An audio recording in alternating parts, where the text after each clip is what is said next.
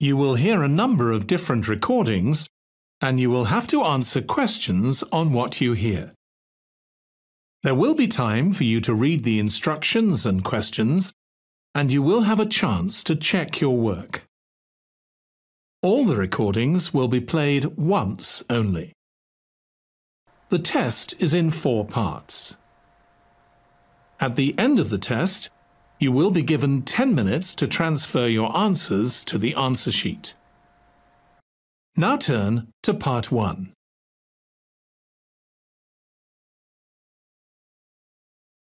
Part 1 You'll hear a mother, Shirley, talking to Kate, an admissions officer at a school. First, you'll have some time to look at questions 1 to 3.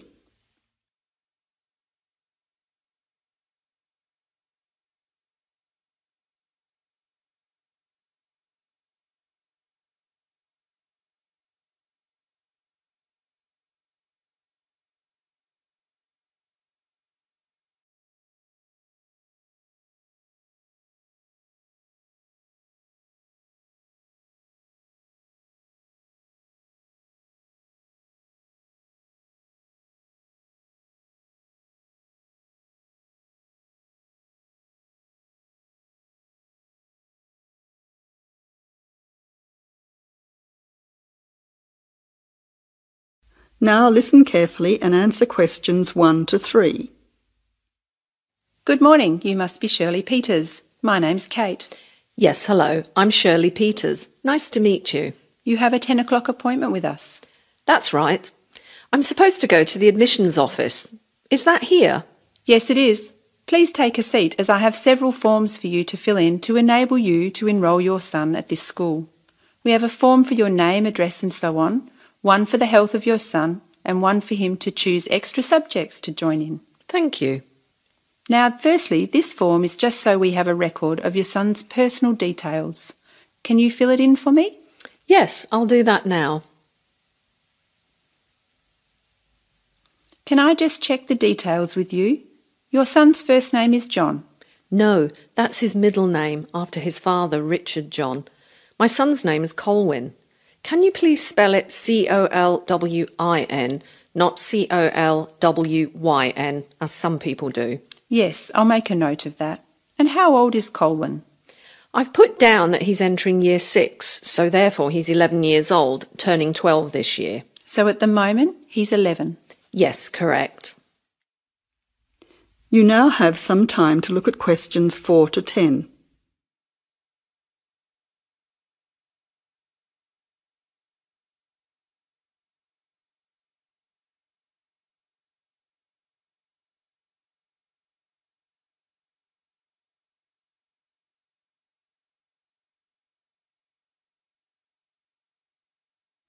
Now answer questions 4 to 10. Let's move on to your address. Do you live at 7 Whatley Crescent, Mount Lawley? Yes, that's right. The street is spelt W H A T L E Y Crescent in Mount Lawley. Yes, I can see you've written that. Which phone number is best to contact you on? Well, I'm out and about doing things during the day, so probably my mobile rather than the home number. So that's 041 3325 888. Yes, 041 3325 888. Secondly, can you complete this form regarding your son's health? Yes, I'll do it for you now. Thank you. Now, can I go through the more important areas of this form with you to make sure our information is accurate? Yes, of course. Is your son taking any medication at the moment that the teachers will need to be aware of? Yes, he has asthma, so he will be carrying his puffer in his school bag. So he has a puffer. Is he allergic to anything? Yes, peanuts. Actually, he should avoid all types of nuts. That's okay, because we have a policy of not having any nuts in our school. Is there anything else that you think we should be aware of? As I've written down, he also wears glasses, which he needs to keep on all the time. I'll highlight that section on the form so his teacher will know about his glasses. Finally, this school has a wide range of interesting subjects that your son can participate in. Could you mark on this form what your son would like to do? Yes, certainly. Here you are. Firstly, it seems your son is particularly interested in football, so I'll make a note of that. Secondly, with regard to music, would you like him to start learning the piano in music class? Yes, that would be fantastic. Now, turning to art, I'll let his art teacher know that he likes drawing cartoons. Wonderful. Finally, let's look at languages now. Did you know that Mandarin was actually only started at the school this year? Really? Well, I think Chinese would be the most useful, even though my son's friends have already been learning Indonesian and Italian. Well, now we have all the information we require about your son. We hope he enjoys himself at our school. I'm sure he will.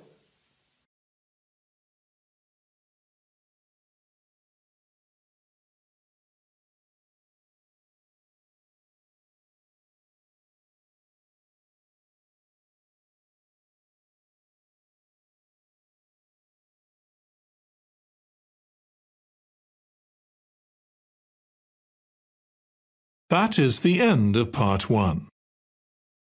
You now have one minute to check your answers to part one.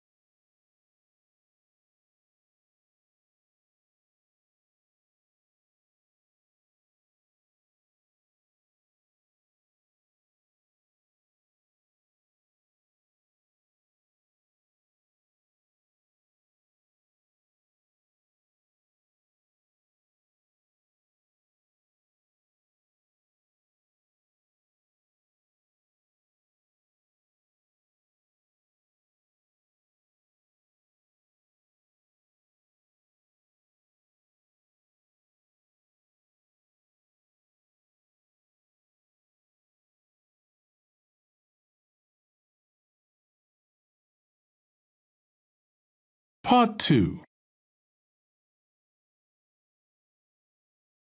You will hear a recorded message giving information about an area where tourists can visit to taste local food. First, you will have some time to look at questions 11 to 13.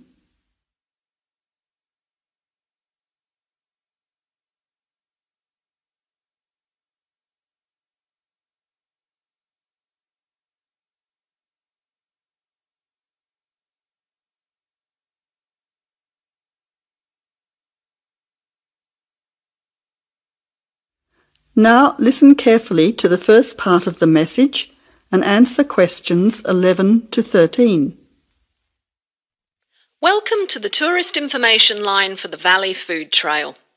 Here you will find many local food products for you to sample and buy. It is possible for you to spend as much or as little time as you want, but I suggest that you allow a full day for touring this area. Of course, there are many half day tours available for those of you short on time. Now, it's quite a large area and stretches from Brookville to Ford Hill. For those of you unfamiliar with the area, that means that it is 10 kilometres to 35 kilometres from the city centre, or by car 15 minutes to the closest point, continuing to 55 minutes at its furthest point from the CBD.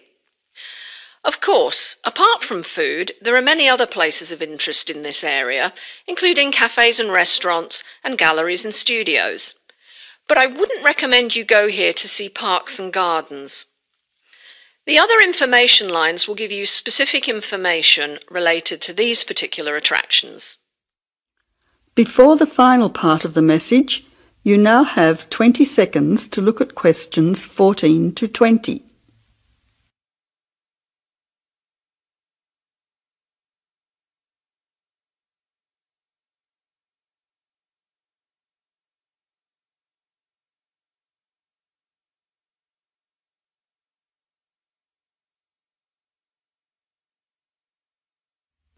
Now answer questions 14 to 20. But let's go back to food. If we begin in Brookville and head north towards Upper Valley in a clockwise direction, passing West Valley on West Road, we cross over Coast Road to come to our first place of interest, Magic Coffee. This is not to be confused with the coffee house, situated opposite on the other side of the valley on the railway line. Magic Coffee is next to the chocolate company, which is on the corner. Just past the ice cream shop on the corner of John Street is the fresh produce shop. A little further north, we have reached Ford Hill, where we can start our drive southwards along Great Northern Highway following the railway line. First, we come to the organic market near the corner of Memorial Avenue, and then to Olive Farm opposite Olive Road. Just before we come to the next street crossing, we see the Honey Pot, which is practically opposite the coffee house. There is another chocolate company which sells nougat as well, just nearby. Following the railway line along Great Northern Highway, we return back to Brookville. Now, as I have said previously, if you only have a few hours to spare, there are several places that you shouldn't miss. The two chocolate places make equally nice chocolate, but the factory has the added bonus of nougat, unlike the company. Of course, everyone loves ice cream, especially unusual flavours such as coffee and nougat. So the ice creamery is definitely worth a visit. And while the coffee house sells expertly made hot drinks, including hot chocolate, I think your time would be better spent sampling the many products on offer at the organic market. Well, I hope you enjoy your time visiting the Valley Food Trail and enjoy all the wonderful local foods on offer.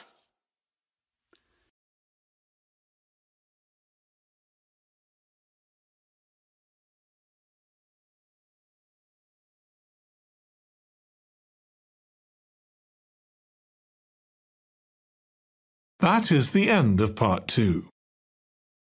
You now have 30 seconds to check your answers to part two.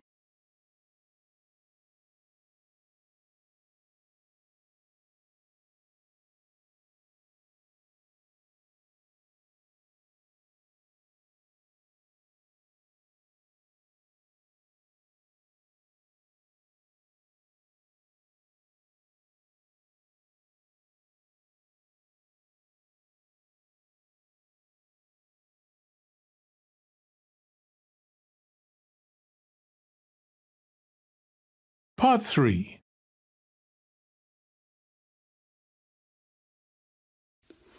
You will hear an interview with Professor Green from a local university which enrolls a large number of overseas students in its courses.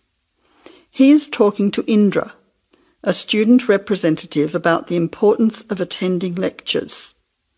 First, you will have half a minute to look at questions 21 to 30.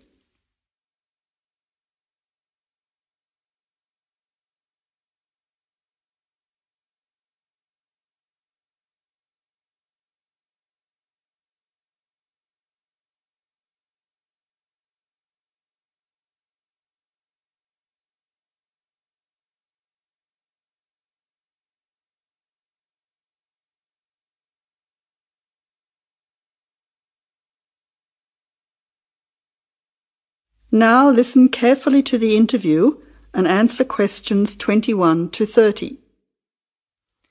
Good afternoon, Professor Green. Thank you for your time today. I wonder if you could explain why you think it is important for us to attend lectures in a course that we're studying. Well, despite the increasing dependence on online communication these days, I do think it is important. Apart from delivering the content of the lecture itself, I believe that there are some general communication benefits from having large groups of students together in one place.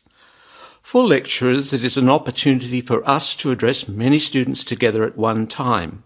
For students, it helps you to feel part of the wider learning community who are following the course. You can interact with each other both before and after the lecture to discuss the ideas and content, networking with each other and comparing your notes.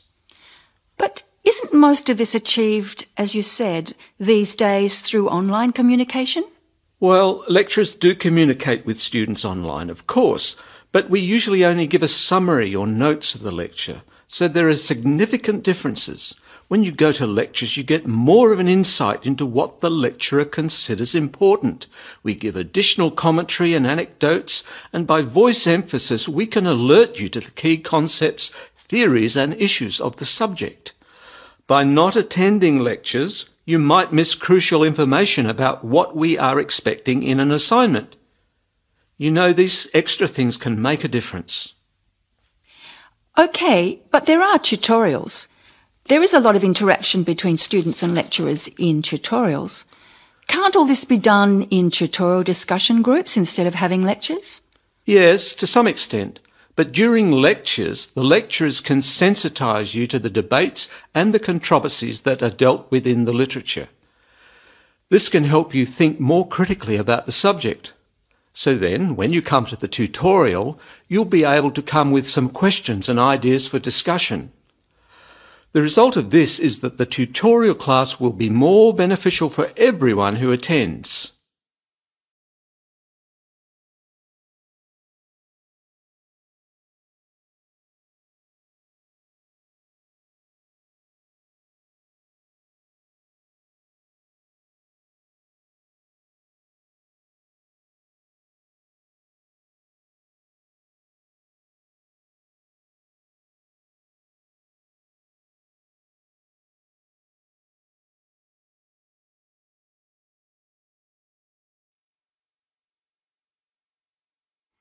I see your point.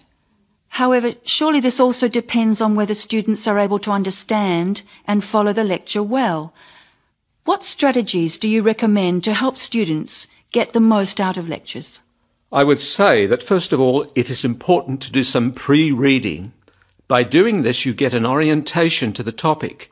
You'll become familiar with the key terms and you'll be able to follow the lecture points more easily. I also think it is good to arrive early to collect handouts and to find a seat where it is easy to see and hear what is going on. Then, importantly, during the lecture itself, you need to be attentive. I know from experience that it is often difficult to be attentive. What can students do to improve their attentiveness during the lecture? I think that there are two keys to following a lecture successfully using the visual cues and using active listening techniques. By maintaining eye contact with the lecturer and following how the lecturer makes use of the slides, whiteboard, and so on, you are using the lecturer's visual cues, which help make the structure of the information clear and give you a sense of what's important. Then, using active listening techniques will also help you to process the information. What do you mean by active listening techniques? Well, you need to pay attention to the methods the lecturer uses to highlight important information. As I said before, in the spoken language of a lecture, we get the benefit of things such as stress and intonation, use of examples and anecdotes, as well as the language signals used to show relationships between ideas. Yes, I see what you mean. These things will be missing in written summaries. And what about taking notes? Does that help? Taking notes helps you to concentrate, so I would certainly advise you to do that. It's difficult to listen and write good notes at the same time, so it does take some training. Yes, taking notes needs a lot of practice, I've found. Do you have any other advice? Well, I can't finish without stressing the importance of formulating questions while you are listening. During the lecture, you should ask yourself questions about the content of the lecture and the points you are following. Ask questions like, what are the benefits or problems? What other examples are there? How does it work? Why does this happen? This will keep you focused and actively engaged in the content of the lecture. Professor Green, thank you very much for your valuable tips and your time today. You are very welcome.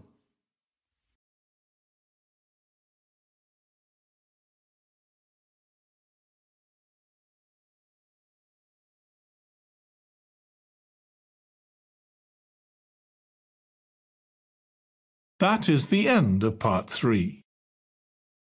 You now have 30 seconds to check your answers to part 3.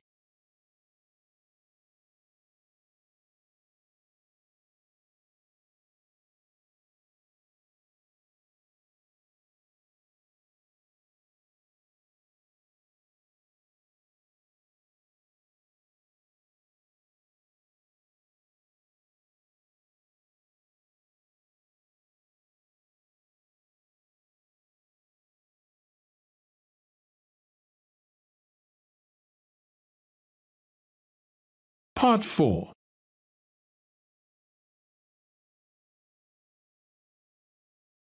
You will hear an expert on birds talking about sparrows, one of the most common bird species in urban and suburban environments around the world. The expert discusses some possible causes for their declining numbers. First, you will have half a minute to look at questions 31 to 40.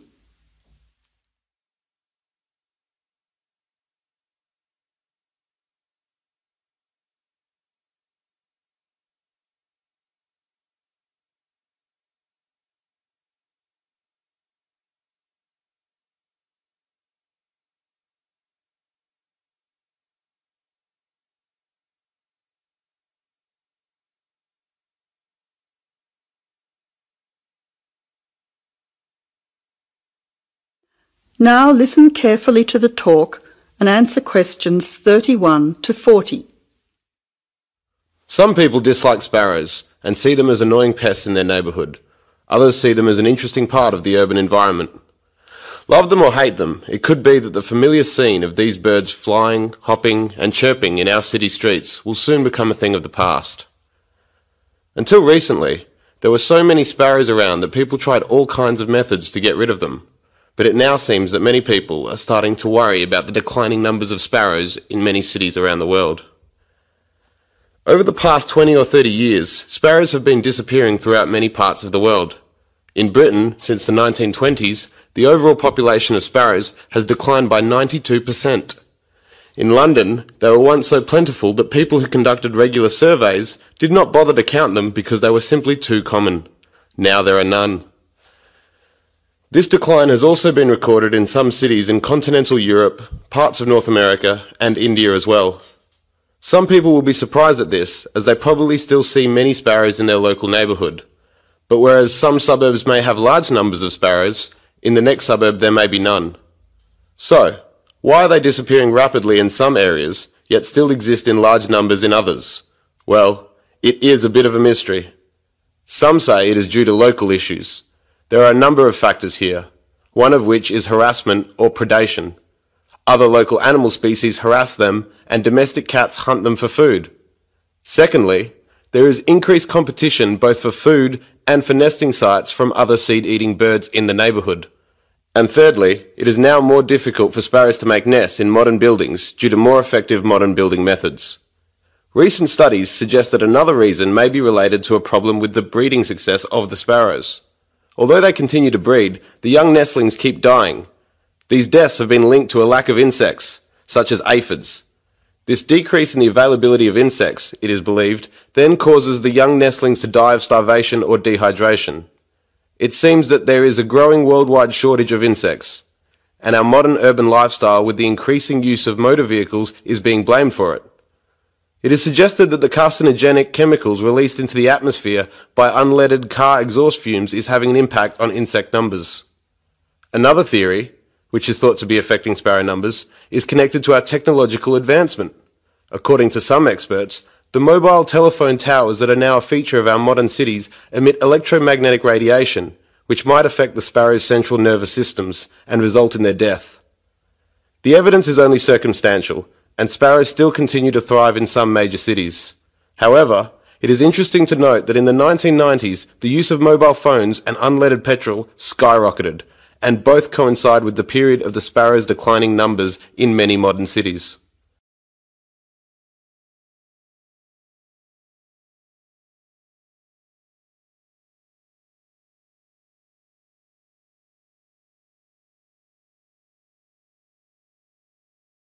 That is the end of part four.